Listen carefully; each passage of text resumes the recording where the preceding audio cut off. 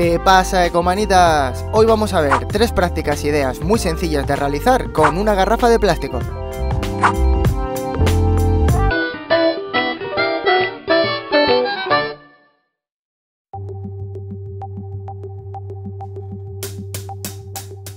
Para la primera idea necesitamos la parte superior de la garrafa. Córtala con la ayuda de un cúter. Nos interesa esta pieza de plástico azul que sirve como asa, así que cortamos justo por debajo del aro. Ahora tiramos del asa para abajo y ya la tenemos. Elimina cualquier saliente o resto de material y ya la puedes usar. Introduce las asas de tu bolsa de la compra por el orificio colocándolas de esta manera y podrás transportar bolsas pesadas cómodamente y sin que se te claven en las manos.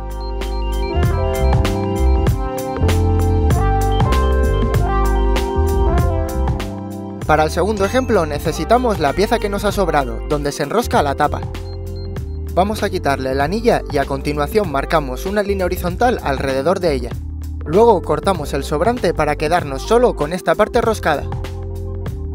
Y si es necesario, lija el canto para eliminar cualquier irregularidad del borde.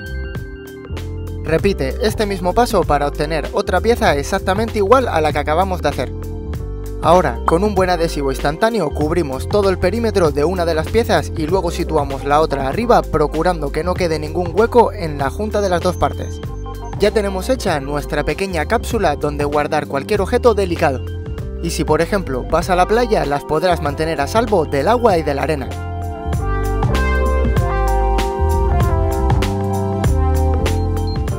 Para la tercera idea necesitamos toda la garrafa salvo la parte superior, así que la cortamos a la altura de donde empieza el embudo de la garrafa.